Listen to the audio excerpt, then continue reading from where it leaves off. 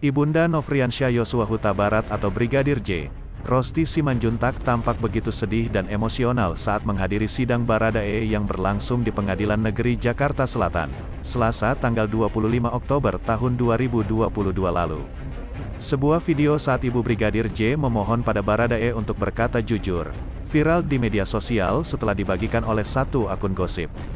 Dalam video yang diunggah akun Instagram @makrumpita, Rosti Simanjuntak terisak ketika menyampaikan permintaannya kepada Baradae, jadi kami mohon ya, agar arwah anak kami tenang, tolong berkata jujurlah, ujar Ibunda Brigadir J, jeritan darahnya tangisannya biar Tuhan menerima dia di sisinya, lanjutnya.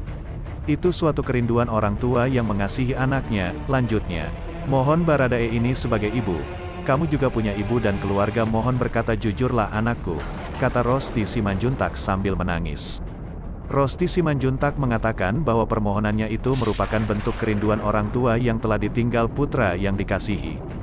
Sekali lagi Rosti Simanjuntak memohon pada Baradae agar tidak menutupi kebenaran yang diketahuinya tentang kematian Brigadir J. Berkata jujurlah, jangan ada yang dibohong-bohong jangan ada ditutup-tutupi, ujar Ibunda Mendiang Brigadir J dalam slide video selanjutnya yang dibagikan akun gosip tersebut, Baradae menyatakan dirinya tidak mempercayai soal tindak pelecehan seksual yang dilakukan oleh Brigadir J, saya akan berkata jujur. Saya akan membela abang saya, Bang Yos terakhir kalinya, ucap Baradae, karena saya pribadi tidak mempercayai Bang Yos setega itu melakukan pelecehan. Saya tidak meyakini Bang Yos melakukan pelecehan, ujarnya. Dalam sidang itu kedua orang tua Brigadir J hadir untuk menjadi saksi. Baradae pun membenarkan semua keterangan yang telah disampaikan keluarga mendiang Brigadir J kepada majelis hakim. Hanya itu saja yang bisa saya sampaikan. Saya ingin mengatakan saya siap apa pun yang akan terjadi, dan apa pun keputusan hukum terhadap diri saya.